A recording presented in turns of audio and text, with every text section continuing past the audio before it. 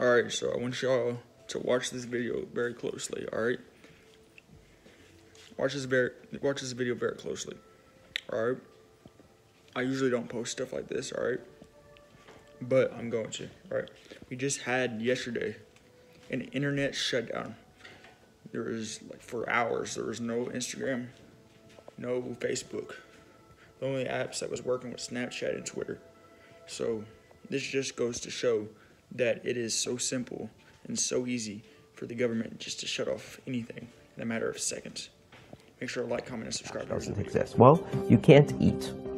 You can't buy food. Done. You can't use transportation. You can't rent an apartment. They can literally destroy your life in a second. This is happening today in China. Social credit score system rank its citizens based on their online behavior. The state will go over every detail of a person's life with a fine-tooth comb. Their financial situation, spending habits, career, even behavior on social media. People who have a negative credit score on that system are denied access to public transportation.